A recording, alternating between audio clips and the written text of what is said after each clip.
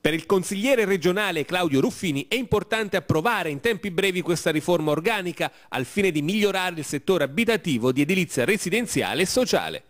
Intanto la Regione aveva promesso eh, una serie di riforme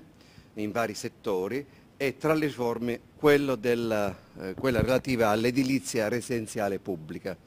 una riforma che non è arrivata, l'impegno da parte della Regione era quello di presentarlo entro breve tempo, tant'è che a agosto quando abbiamo sostituito gli, gli ex commissari con gli amministratori unici presso le ATER si erano dati dei tempi molto stringenti. Ad oggi non conosciamo la proposta della maggioranza ed è qui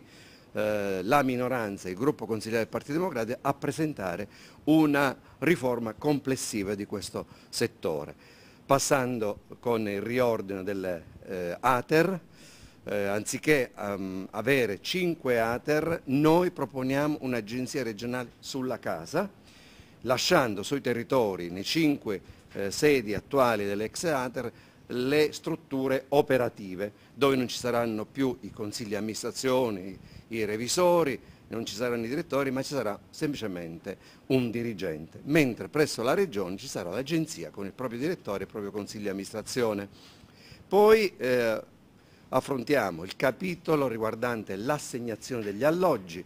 diamo la possibilità eh, di gestire tutta questa materia ai comuni o all'Unione dei Comuni. Ovvero non abbiamo più la commissione provinciale, tra l'altro costosissima, ma saranno i comuni a eh, effettuare il bando che devono fare almeno ogni tre anni, eh, la possibilità di stabilire appunto un'apposita commissione fatta da funzionari, quindi con costi molto ridotti, la graduatoria e poi tutta la gestione riguardante l'assegnazione, poi eh, verificare se gli assegnatari mantengono i requisiti e quant'altro. Sono tutti aspetti che la legge ha eh, diciamo, contemplato innovando, tenendo conto anche le normative sopravvenute. E istituiamo nell'ambito della gestione degli alloggi anche un fondo sociale per chi non riesce a pagare il canone, fondo sociale che si alimenta sia con i canoni sia con un contributo annuale da parte della Regione Abruzzo. Il capitolo nuovo, in, veramente innovativo, è l'housing sociale che si sta sperimentando in tante regioni del centro-nord ma che in Abruzzo non ha avuto mai nessuna, diciamo così, eh, nessuna nascita